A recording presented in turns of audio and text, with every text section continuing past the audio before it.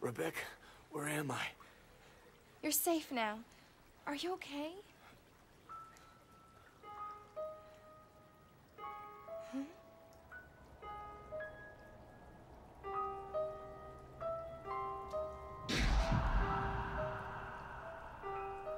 What could have done this? Must have been used as test subjects in Marcus's research. He must have kept messing around with the mother virus.